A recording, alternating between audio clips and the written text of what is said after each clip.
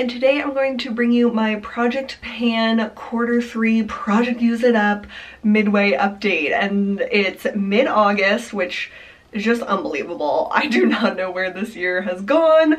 Um, while in quarantine, every like time is an enigma. So I can't believe we're already here to do the midway update. And since the last time I did one of these videos, I didn't have Invisalign and now I do. So pardon any weirdness going on with my mouth, but still getting used to it. Um, so I have really, really, really good progress and a lot of these products I feel like will not be done until the bitter end. And I have been working hard on pretty much all of these products, like especially the foundation, the Hourglass Vanish Stick Foundation. I have just tried this in so many ways and thankfully most recently I found a way I really like it on its own so I can use a little bit more of it. Because before I was always using some of this but then mixing it with like a different foundation that I liked better. But lately my skin has been a little more oily which is really the only time this product works for me. So I have really really really worked hard and it's all the way turned down and it goes down to about like here which yeah like about here. And I rewatched my first like intro video and when I started it was about up here. So that's really good. And let me just twist it up to see like how much actual product is left. And so we only have that much product left so that is really exciting. I've definitely used up that much within this first like month and a half. And so I have a lot of like hope that I'll be able to use this up. And this is a product that it's like not easy for me to use because it's just very like thick and like heavy coverage so you can't use very much and the way I've been using it most recently is I just do like a little swirl on each cheek and then a little dot and a little dot on my chin and forehead. And then I take my dry Real Technique sponge. I know most people like never use their sponge dry, but I don't know, I just really like using it dry. So I use the flat side and I just like bounce it all over my face. It takes so long to like blend it in. The water probably would help, but it just, I don't know. I like the finish better with the dry sponge. And the key for me with this is the like moisturizer or the primer that's underneath.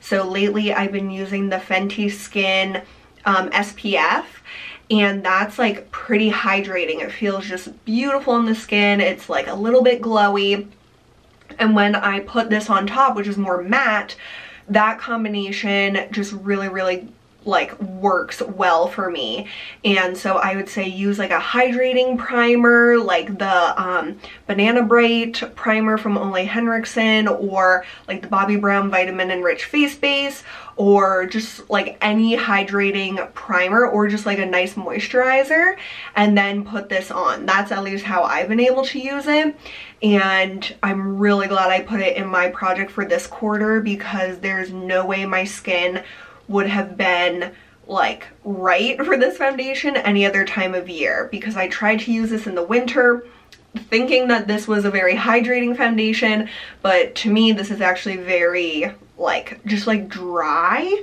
like it it's not drying on the skin, but if your skin is dry, it makes your skin look drier. So I'm glad I'm working on this and I am confident that I will be able to finish this up, which will make me feel amazing because this was expensive and I gave into the hype without really thinking about like my actual skin type and like what I like with my foundation. But like I have my full face of makeup of course, but I think it looks just really nice as my base and it's working for me. So this one has been a lot of trial and error, but I'm glad I found finally found a way I like using it and I don't like dread using it because I used to dread wearing it and now I really like am happy with the way it looks on my skin. So thank goodness. Then a product that I haven't used as much of and I'm not really sure if I'll be able to finish it up is the um, YSL Cherry My Cherie Tint in Oil. So this is a completely like opaque packaging and I can't like see through this at all. Like I don't think you can, yeah, that doesn't help. And then when I, um, I can open it up and sometimes when it gets lower, I can like see into the container, but I think there's just still a lot of product. So yeah, that doesn't help.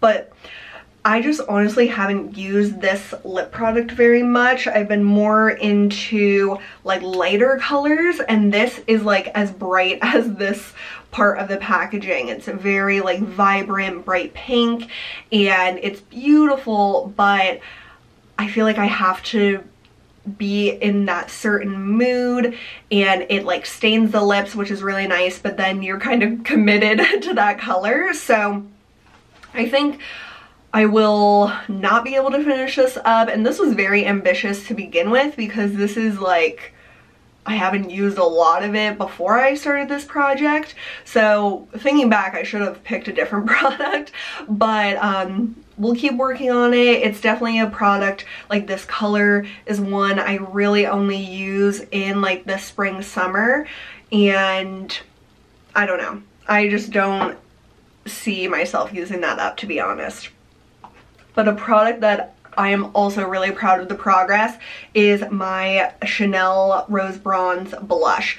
And I rewatched my intro video and I can see a lot of progress. So here is where we're at now. You can see there's like this whole like round crack forming and to me that just shows I am this close to hitting pan. Like it is so thin like when you look at it in different angles you can see like how thin this part is and oh my gosh, I am just so, so excited. I'm wearing this today. I have worn this the majority of the time during this project. I've worn different blushes from time to time, but this is the one that I wear the most by far. It is so beautiful. It goes with the makeup I'm really liking these days. And so it hasn't been like a really big challenge, I guess, to make progress on it, but I do want to hit pan for sure. So I will have to like stay focused and probably like consciously use it more than I was before, but I think in a month and a half I can easily maybe hit pan on this. So I'm very excited to see that progress. And then my Becca Vanilla Quartz mini highlighters. So this one I have used quite a bit. Um, there's definitely some wear in the pan and it's getting, like you can see it's thinner on the sides. Um, I'm wearing it today just like on my chest and a lot of the times I wear more like v-neck cut shirts or if I'm wearing like a tank top I'll put it on my shoulders and I don't wear makeup every day because I work from home now, but when I do, especially on the weekends and stuff, if I'm going like outside at all, um, I'll be sure, like I always make sure to use this. And normally I'll put on like my SPF on my chest and my shoulders and stuff and then I'll like um, buff this on the skin so it really is like it lasts and it just is really vibrant and pretty. And it's like a nice sheen but it's not like crazy or anything. It's not like super glittery. Just a really nice look on my skin. And I think I can use this up. I definitely want to because I don't love this color as like a face highlight. And once we get into fall I don't know how much I would actually use this. Like on my neck and chest if like if I have like a v-neck on or whatever. But yeah I really hope to be able to finish that Okay, into the skincare, and I didn't even show you guys the products that I finished up. Oh my gosh, I'm all over the place. But I finished up four products. wow, I am like a noob right now. But I use up both of the body lotions that I put in this project. So uh, the Aveeno Creamy Moisturizing Oil, which is just a really, really lightweight moisturizer. This I used up completely and I liked this. It's like a very faint scent. It definitely smells kind of like baby lotion or something to me. It's just like very calming and just like not a strong scent. Um, I liked this, definitely good for this time of year when I'm already like hot and I don't want like a lot of heavy cream on and so I would put this mostly on my arms at night and it was really nice but I wouldn't repurchase that. And then the Bath & Body Works Fresh Coconut Colada Ultra Shea Body Cream. This is like the other end of the spectrum of like thick body creams. This is definitely a rich cream, as I'm sure you guys know if you've ever used this. And the way I use this up, first of all, it smells amazing. Oh, yeah, that is so good. Um, I use this like mostly on my lower body and I just like really, really massage it in like to my hips, my stomach, my butt, like my thighs.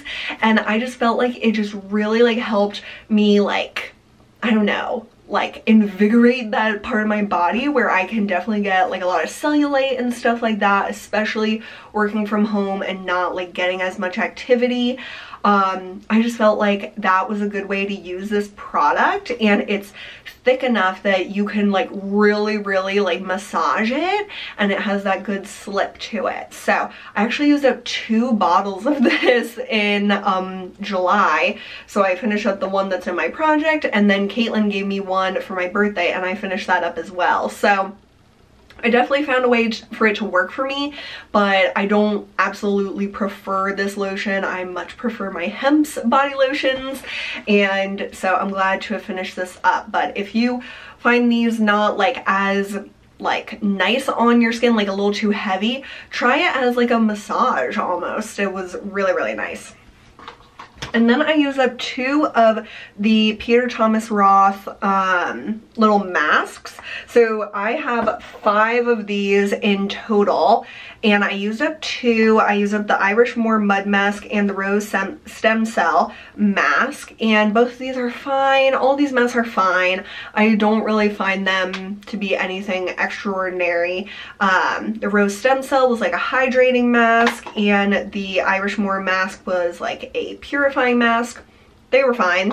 So I used both of those up, but I have three more to go until I can really say that these are done because I counted the five of these as one product. So I shouldn't have said I used up four products. I have technically used up two products, um, but I have three of them left and I think these two, the cucumber gel and the Hungarian thermal water, I have not used at all, but then the pumpkin enzyme mask I've used at least one time for sure, maybe two times, um, but you don't need very much of this. It's a um, like chemical exfoliant and a little bit of a physical exfoliant um, mask. So I only want to use this when I feel like my skin really needs that exfoliation, but these other two I could pretty much use like whenever. So I'll definitely finish these up because I don't really want to have to store them anymore. And like I said, they're okay, but not like absolutely like mind-blowingly amazing. And then my last two skincare products I have been using every single day and they are still hanging on. So I have my Fresh Vitamin Nectar Antioxidant Glow Water. This is like a little spray Smells amazing like citrus. And normally I don't like citrus, but this smells really good. Um, I swear this sounds like it has the same amount of product as when I started. And I use this every morning. So whether I take a shower or I just wash my face at the sink, I will dry my face off and then I will like douse my face in this. I'll do like like up and down motions and I'll do like don't know, like six sprays because this is a very fine mist. And then I'll put on my serums and moisturizer. So I feel like it just adds that little bit of hydration and slip to my serums. Like I was using the um, Drunk Elephant C Firma Day Serum and that did not have like any slip to it. So I started using this just to help that like slip and blend into my skin. And then I was like, let's just keep using it because like it's nice in the morning kind of like nice invigorating like citrus scent like I said and I like this. I don't think it's like a must have by any means, but since I have it, it's really nice to like have that little like aromatherapy and then have it kind of help like blend in my serums and stuff. So I hope I'll be able to finish this, but like seriously, it sounds like I still have half of this bottle and that's what I said it sounded like when I started this project. So I really don't know. But then my um, Ole Henriksen Banana Bright Eye Cream, I've been using this every day as well and I am really, really close to being done with this. So um, this is kind of weird. It looks like it's separate, like separated a little bit. So when I use in the morning, I just kind of like swirl my finger in there to kind of stir it up. And then I just like put on my ring fingers and then apply it onto my eyes. But this is really nice. I wish it smelled like banana but it smells kind of like like a little bit like citrus but like a little bit not. I don't know. But um I like this. It has a nice glow to it which I like under my concealer and stuff like that but it's not my like favorite eye cream of life but it definitely has like a good like slip to it. It's easy to use. It doesn't like irritate my skin or my eyes in any way and I'll definitely be able to use that up so that's good. So I think I'll be able to use up for sure the eye cream, the masks, the foundation, the highlighter, and hopefully hit pan on my blush. That would be like amazing and I really hope I can finish up the vitamin water stuff but I just don't know. So we will see and you guys will have to stay tuned for my finale at the end of September, which sounds like a lifetime from now, but it's gonna be here before we know it. But I hope you guys enjoyed seeing my update and if you are doing a project pan as well, let me know how it's going for you. And if you like this video, be sure to give it a thumbs up and subscribe and I'll see you guys very soon. Bye!